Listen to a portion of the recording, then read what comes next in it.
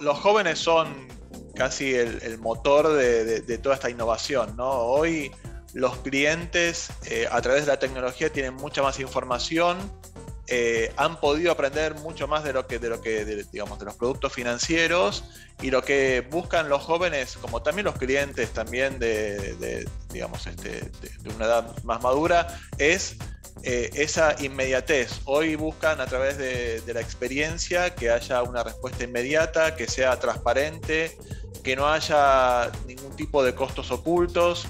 Eh, y ahí es donde eh, la, fintech creo que digamos, este, hemos hecho mucho énfasis y hemos estado muy bien enfocados, ¿no? En que sea la, experiencia lo más transparente posible y que sea lo más inmediata posible. Los jóvenes son los que siempre están buscando cosas nuevas, son los que siempre habitualmente nos, hacen llegar más consultas o más pedidos, eh, de incorporar nuevas tecnologías, lo que hablaba un poco en, su día Hugo con la parte de blockchain, eh, obviamente la parte de criptos eh, y obviamente todos los productos financieros alrededor que puede haber como tarjeta de crédito o tarjetas prepagas.